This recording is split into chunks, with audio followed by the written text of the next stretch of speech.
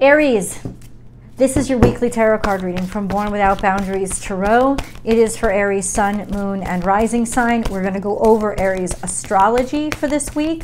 We're going to tell you about the vibes. We're going to go over the current situation, figure out what that is, and then whatever comes out from the past, we'll review because it's got something to do with this current situation if it falls out.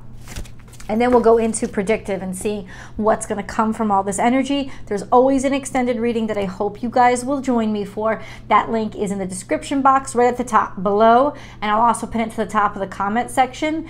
Um, yeah, thank you so much for, for push, uh, choosing this video. If you if you're just finding the channel, welcome to Born Without Boundaries Tarot. This is my, my premier channel. I have a second YouTube channel called Astrology Motivation where I do general live general tarot card reading live chats every single day. So if you want to participate in that, it's also where I upload my weekly astrology forecast. Lots of good content there too. So please do find that.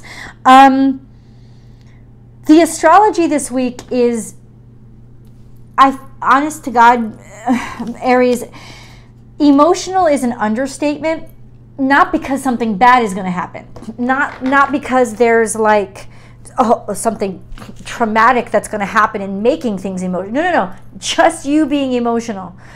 Um, mars is in retrograde so things are more frustrating for you because you're used to charging and it's not if you could learn to just sit back and relax and be cool with that things would be fine but it you know it's not your nature number one and number two it's hard to change gears now, what makes it easier is that there is the holiday season coming up. Whatever holiday you celebrate, that's what's coming up. Lots of people are taking vacation around this time, whatever hemisphere you're in, this is vacation time.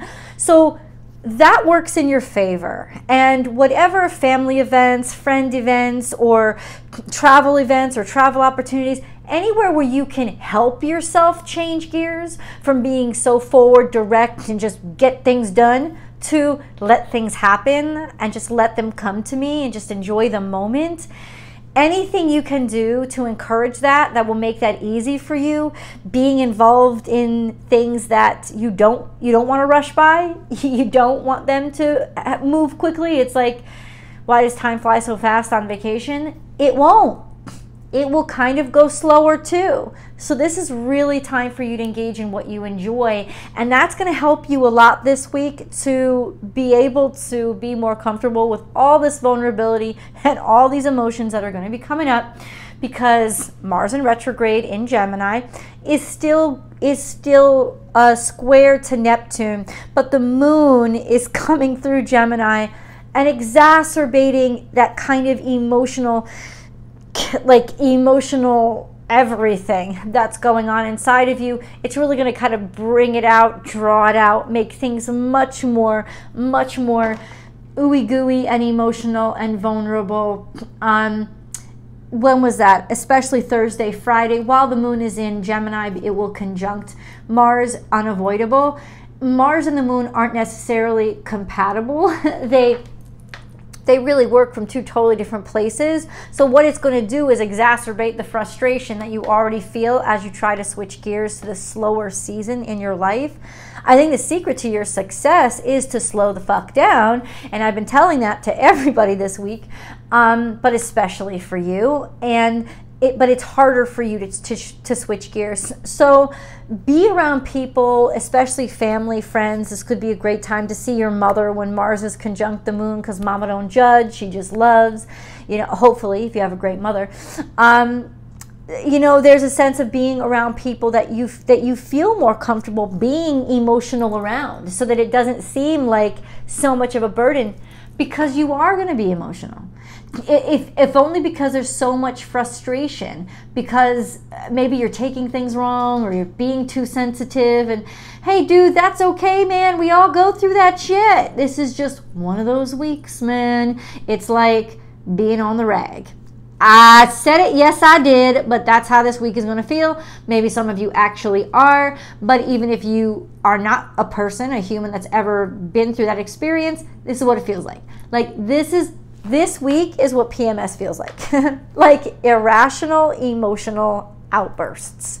Now, this could actually, for you lucky Aries, be happening to you too. So you could be dealing with somebody who is for real gonna drive you nuts because you don't have the same energy levels that you used to. Um, and you're dealing with somebody who's very over emotional. This could be your mama figure. It could be your wife, some female or feminine that you're dealing with in your life. You could feel more, and I hate using this expression, quote unquote, like a girl, which means more emotional, more feminine, more receptive. Give into it, dude. Honor and respect those aspects of yourself, but being around people that you really care about is just going to help the melancholy, nostalgic, emotional wave that you will have to ride this week it's not going to be forever. And honestly, things really resolve themselves toward the end of the week. It's it's it's not going to be something life changing or destructive. Um, but expect it. Expect it and don't try to control it, which is also very complicated, I know. See the big picture. Ah, another, number one, this is saying, you know what? Don't freak out. Because overall, in the long run, if you look at the big picture, this isn't really that big of a deal. And I, so it's saying that an objective perspective, stepping back and looking at things from a distance and seeing where it's leading. This is not about fortune telling or seeing in the future. This is Taurus energy. So it's really got to do with what's going on in the 3D, what is tangible, but casting out a little bit and seeing, okay, what's my schedule like? Where is this trajectory? Like, where is it headed? Who else is involved? Looking at a bigger picture of everything that's going on instead of just what's happening to you. These are all helpful tips that will help you get outside of yourself this week so that you you don't completely implode or melt all over the place being very practical, being very optimistic as well. This is an optimistic outlook if you really look at it. See, the big uh, picture is big money picture, Taurus. So, in the long run, even if you feel depleted or that you can't make enough money, like for example, a lot of Aries do physical work. And a lot of times, physical work at this time of the year, especially in the northern hemisphere, where it starts to get cold in a lot of places, the weather starts to get really grumpy and crappy, and sometimes it just gets impermeable. Dude, it's it's almost like this is always the slow season. You know what I'm saying? That's kind of what it is. So it may strike you all of a sudden, oh my God, I just took a huge financial hit you really didn't. You really, this is just a season. It's a seasonal thing. And if you look at the big picture and the big scheme of things, do a year upon year. Like do a year end. See where you were last time this year. You'll actually see Aries that it's actually not that bad. it's it's not as bad as it feels like it is because last year Mars wasn't in retrograde and you didn't feel so depleted. It's really just very emotional right now and you feel more vulnerable. But if you take that wider perspective, and yeah, for those of you who have access to think tools like analytics and stuff, do the year over year. Like see it's not it's actually not that bad. A wider perspective will help you. And honestly this has to do with personal situations too. Last year at this time things were probably much more fucked up. Isn't that great? But I think the, the, the goal in this exercise for you guys is, is, is God is saying, you don't want to hear the word God, the universe is saying, the cards are saying, I am saying that zooming out and looking at the overall picture is a, is a, is a useful tool for you this week. It's going to help quell or calm down all of those really reactionary tendencies that are that are going to be inevitable this week. Um, you see clearly now. Oh, and I think what this is implying is that there is hidden blessings this week that you couldn't see because of all this crazy, you know, just oh my God, too much emotion. Emotion easily clouds the, the vision. But if you slow down and zoom out, you'll get a clear perspective of what's really going on. And I got this huge relief in me as I saw this card, which means there's good news to be found if you zoom out. there's there's actually information that will alleviate your stress if you just do a zoom out right even if you see oh my god i just spent all this freaking money how am i going to deal with the holidays and it's like yeah but next year at this time think about how, how happy it's going to make you because it was a good investment and i think doing that zoom out is going to make you see it's like you've really come so far. There's a lot to be proud of. There's a lot to be happy for. Let yourself melt and be emotional. There's a lot of changes going on. And I think right now, since this is Aquarius energy, as you see, there's so many changes. In fact, suddenly you're starting to see a change in your banking account. And since both cards are upright, this is actually good. Maybe at a different part in your life, you couldn't have even afforded or didn't even have the credit line to spend this much money but now you do. And if you look at where you were last year, remember last year was 2021, the year before that was 2020. Bitch, think about that shit. You know, it's like do the zoom out so that you can see, so that just so you can help yourself. And I think you're going to see some really happy information. Trust the magic. So this is a new beginning and a new start. I don't know what this is, but we're going to figure it out. Oh, I just got 1111. Shut up. Have you guys been wishing for things? What have you been wishing for? Leave the comments below. Let me know. Tell me, what have you been wishing for? It doesn't necessarily mean that your wishes have come true. It's almost like you've awakened to something new to wish for, something new to want, or starting to see that something new has already begun that you might have missed if you didn't zoom out. And Spirit has a plan. It was always destined to go this way this is divine timing and it, it tells you that even though you feel out of sync you're actually you're actually moving just at the right time. This is also a higher perspective energy. It's also suggesting Aries, you're going to go really far this week if you trust. Koala, this is is spirit has a plan is trusting in God's divine timing. That's sort of what the energy is saying to you. Okay? Trust in it because this is a beautiful new start. Okay, let me let me pick the moon card and then we're going to ask the question them direct questions that we all want to ask. I can already hear them Ooh, what popped out in the moon? Show the world the real you full moon in aquarius. Now this got something to do with your friend group. Maybe something coming out or or if you've hidden a secret or kept it secret, it's like, fuck it, I can't hide it anymore. I'm just going to be who I am and I'm going to be who I am out loud. And you will be accepted. It's also saying tell the truth.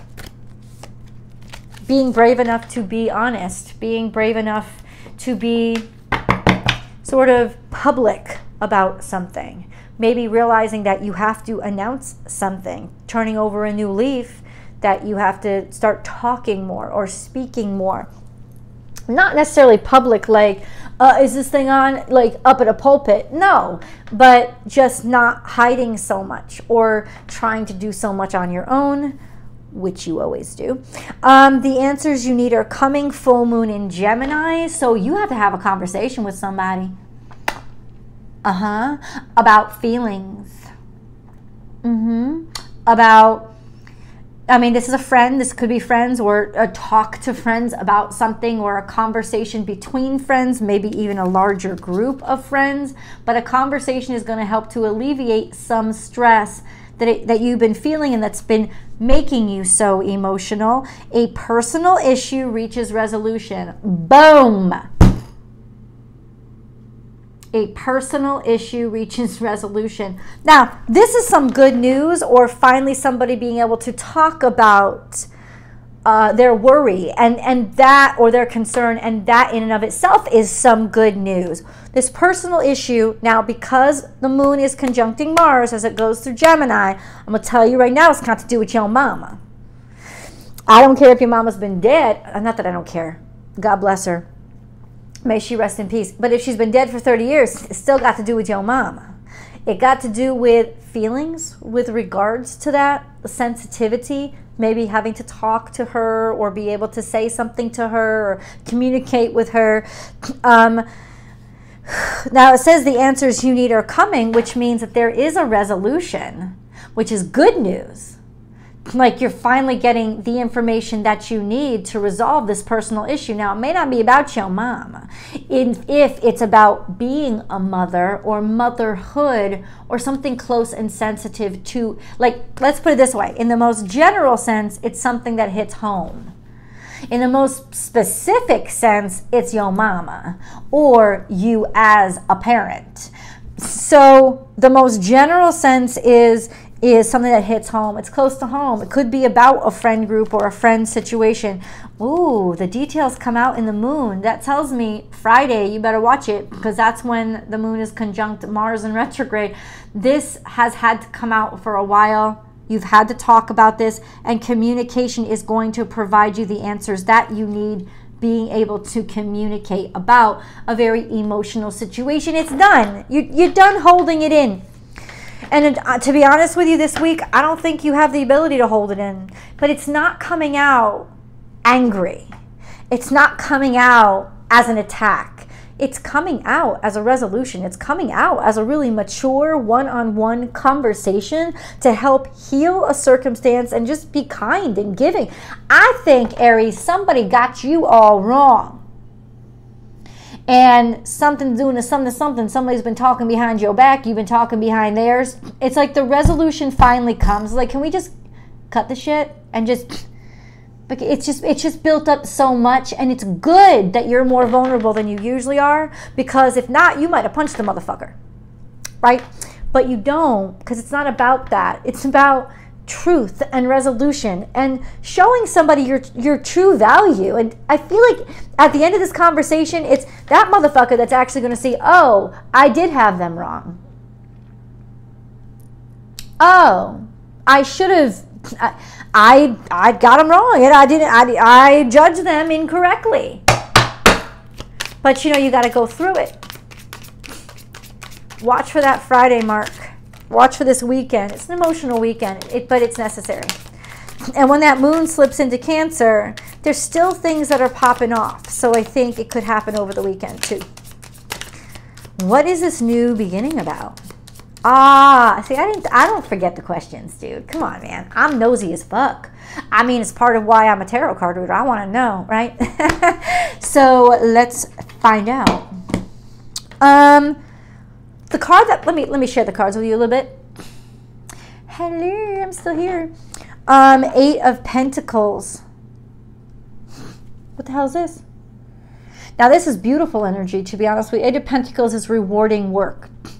So what this is telling me is something that you have been working on, something that matters to you, especially if it's surrounding this situation, it's worked. So something that, yeah, it's worked. Rewarding work.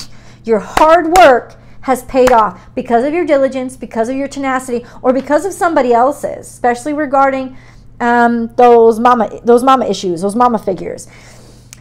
Something has worked. I don't know what that is. Let's turn this over. Queen of Wands, that's you, bitch, and Page of Cups. Hello. So this is this is definitely you, Queen of Wands, of course, Aries, you a queen, and it doesn't matter male or female. I don't give a fuck. You a queen. This is about really owning your independence, is about being confident in yourself, confident enough to admit, hey, I love somebody. Hey, I love you. confident enough to love instead of trying to hold back on that love because you thought it was dangerous or you thought it was wrong or you thought there was shame involved, you're going to get rid of and shed all that guilt and all that shame. Um, by just talking about it, by just sort of admitting it or saying it out loud. Bitch, what the fuck? So look at this. I told you, I don't ask for the past to come out. The cards will reveal it if it has something to do with the situation that's going to be talked about and finally resolved. Got to do with some sort of marriage, love offer, an offer of love, a marriage, a commitment, something that happened in the past.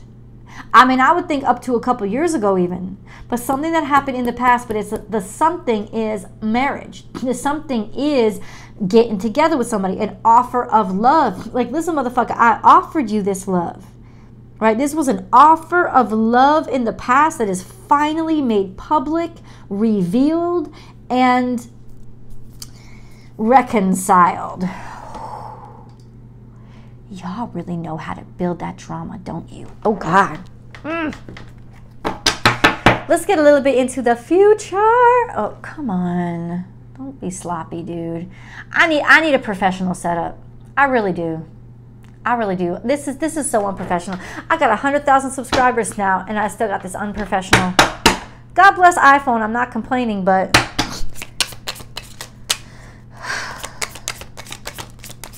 Oh, we got some future, baby. Oh, bit. Oh, this is good. Yeah.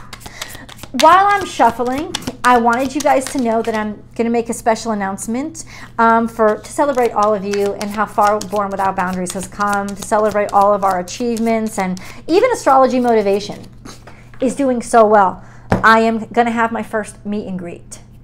It's going to be uh, in March or early April of 2023, sometimes sometime around the spring equinox. It's going to be held in Austin, Texas, USA. And there's going to be one of two ways to participate. One, be there live for however you can get there plane, train, automobile, walk, whatever. Be there live, or two, live stream, which is global. Now, it's your choice. This poll that I'm going to put out toward the end of the week is going to ask you, what do you think you'd be interested in? If you're not interested, there's not a fucking not interested uh, selection. I don't care if you're not interested, right? Just you're not going to fill it out. But if you are interested, think of, like I want to start taking it, get a general head count of what how many people would be interested in each of those options. So let me know and please look for that poll. I'll be releasing it toward the end of this week. Now, back to your cards, baby. Um, the Emperor is here. That's you. Okay. And then Six of Pentacles. That's opportunity. Yeah. And then the card that I was super duper freaking psyched about the Devil in Reverse, which means something that was burdening you, something that was um, uh, chaining you, making you feel guilty, um, maybe even addictions or making you act out in bad ways. Finally, being able to get that devil and exercise it. Finally, being able to work that devil out work out the fear, get rid of it, uh, harness it. You know, like this is this is almost like getting sober. Um, but it's really about facing fear, facing fear and and not letting it control you anymore. You've been able to not let it control you anymore, and that in and of itself will make you feel so much more like yourself and the amazing opportunities that you make room for when you do. Let's go to the extended. I cannot wait. I'll see you guys there.